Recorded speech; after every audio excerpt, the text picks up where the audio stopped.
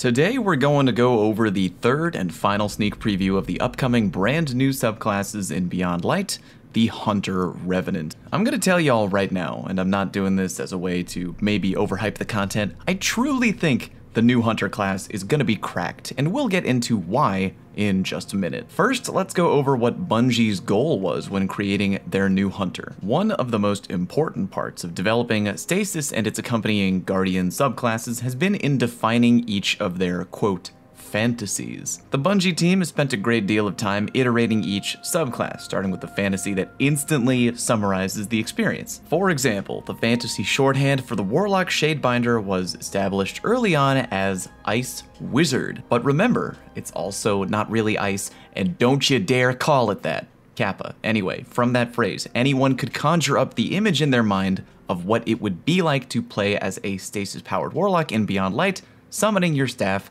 and unleashing dark energy to freeze opponents. The Hunter Revenant subclass apparently went through many iterations before Bungie all agreed on a ninja archetype. Finally getting into the details, Bungie fills us in on the melee attack, which is called Withering Blade. The player throws a deadly stasis shuriken into the fight. It ricochets off surfaces and enemies, slowing and damaging them along the way. Land two shuriken on the same target and that enemy will be instantly frozen. We need to take a quick timeout here. The more we learn about the Hunter, the more that old trailer and pre-release gameplay makes more sense. In the unreleased Gamescom B-roll footage, which again, if you'd like to watch in full and haven't seen, you can find the link down in the video description, or you can click in the top right corner now. There is plenty of the new Hunter Shuriken in both of those clips. One little nugget of info is that apparently the default Shuriken melee comes with two charges, meaning every time we've seen footage of the hunter throwing two shurikens, again,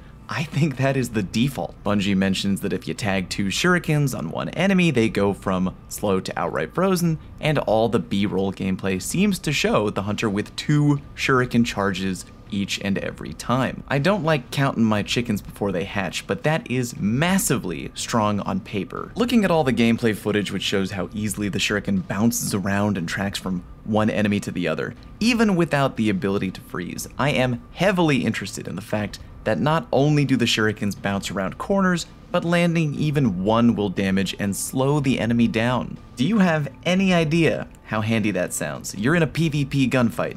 You know an enemy is in the next room ricochet a shuriken off the doorframe into the room, get a tag, now the enemy is slow. With them unable to now outmaneuver you, you simply pop in and gun them down. Easy. There's more I want to talk about too, but for now let's carry on to the Hunter Super Silence and Squall. Again, I was shocked to learn from the B footage that the super is a one and done shutdown super, kinda like Blade Barrage, not a roaming super like Arcstaff. Named after some weeb shit the super involves a two-pronged attack, with each comma blade having a different function. The first blade, when thrown, immediately detonates on impact, freezing enemies in a radius from the center of the blast. You chuck Squall, aka the second blade, and it'll embed itself in any surface or enemy, then detonate, creating a stasis storm that will track nearby enemies, slowing and damaging them as it makes contact. Going back to the unaired Gamescom footage, it's very clear how the Hunter Super is going to work. You chuck one blade, and you can very quickly see a large dome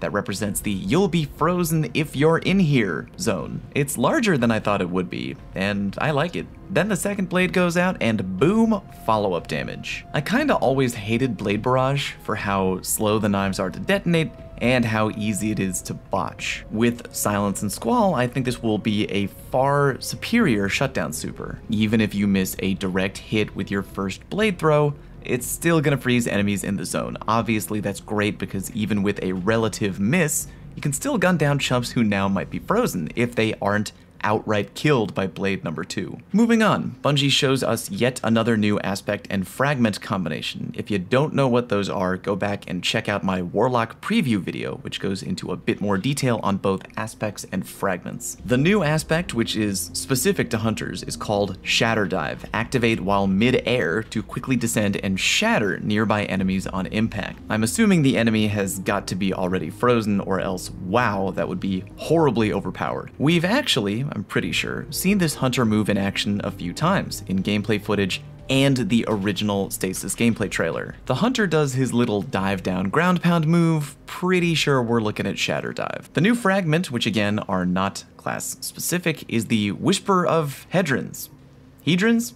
The, the Whisper of whatever. Gain a bonus to weapon damage after freezing a target with stasis. That is awesome. First, let's think of the very obvious benefit that would bring to PvE. With the ability to throw two shurikens, one to impede movement, the other to freeze, you'd very likely be activating this fragment a lot. And if I'm reading it correctly, it doesn't give you a bonus to weapon damage on that one target you may have froze, it gives you a flat bonus to weapon damage, meaning depending on how much damage you're getting, freeze an enemy, boom, instant kill clip on your gun. And considering you can dodge near enemies to recharge your melee with the proper hunter dodge, you can refill your shurikens a ton, freeze more enemies, activate more gun damage, crazy. For PvP, the same great potential is there. It'll probably just be a tad harder than PvE because AI enemies aren't really good at living. Next, we have some kind of new info to me that is really mind-blowing. Descriptions of the brand new stasis grenades. Let's go over each one, starting with the Glacier Grenade. Upon contact with the ground, a wall of stasis crystals immediately will burst out from the earth and nearby enemies are frozen solid inside a stasis crystal. These grenades have multiple uses, from encasing dudes to creating cover. When destroyed, so I'm guessing you can shoot and break them like a Titan barricade,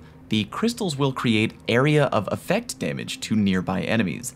Damn. I think that out of all the new nades, the Glacier Nade has by far the most creative potential. Cracked players in both PvP and PvE are going to find ways to use these nades to get higher than they normally should, find new angles, find new ways of ambushing the enemy, finding new ways to get to places that you shouldn't be able to get to. Mark my words, Glacier Nades are going to be wild and produce the largest number of great clips on Twitch and Twitter bet on it. Next, we got the Cold Snap Grenade. Upon impact with the ground or an enemy, this nade unleashes a wave of stasis energy that races along the ground in the direction of the closest nearby enemy, freezing them and then searching out the next nearby foe. You can freeze up to three enemies with one Cold Snap Grenade. What the F. I'm thinking that the tracking on this nade has got to be slow as hell, otherwise the cold snap is going to be instantly OP. I'm thinking along the lines of the Void Warlock Axion Bolt. You can blatantly see it coming, you know it's coming right after you, and the play is to run away before it touches you. So even though you may not always be freezing smart enemies by throwing this, the good news is that it's going to force movement. You got a couple guardians camping in a room and refusing to leave, Cold snap time, baby. They're either going to have to run or get frozen solid. And if the tracking time on the nade isn't slow, dear God, I will be rocking cold snap all day. The final new grenade is the Dusk Field. Dusk Field nades create powerful stasis fields that suck enemies into them when forming. Once an enemy is caught inside, they'll be slowed and, if unable to make it out in time, frozen in place. Insane. Now, if the nade only made a zone that slowed down and froze enemies inside, I would understand, but this nade apparently sucks people into it when it forms. Obviously a top-notch PvE choice, but again, for PvP, the biggest question that determines how good the Dusk Field will be is how hard is the suck factor. Now, now, no giggling.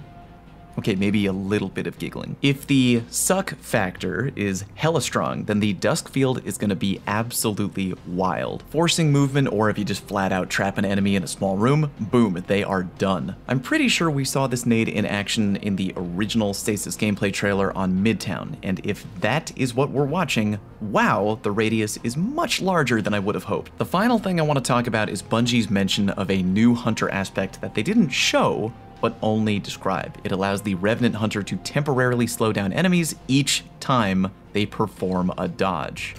I'm calling it right now. It all depends on the range. If you can be within say, Gemini Jester range of your enemy and pull off this dodge, it is going to be insanely OP. Can you imagine for a minute dodging well over 15 meters away from an enemy and bam, they get slowed down through a wall? Mother of God. The hunter dodge, when properly specced into, can be fully charged so quickly. I would literally throw on 6th Coyote or even Dragon Shadow and abuse this like mad. If the range is good and if the slowdown effect truly hinders people in PvP the way I think it will, call me a Hunter main for year 4 all the combo potential between the slowdown dodge, the double ricochet shuriken charge, and the crazy new grenades. Again, I'm not trying to be that guy on YouTube who calls something new automatically OP, but man, we really gotta keep an eye on all of this because if everything is as good as it sounds, gonna be wild in Beyond Light. Anyway, that's all the new info we got on the Revenant Hunter, but all in all, plenty of things to sit back and think about. If you're thinking that the Hunter is also looking damn good on paper, let me know down in the comment section. Please like if you enjoyed today's content, and don't forget to subscribe. It's free. Thank you very much for watching, and I'll see you next time.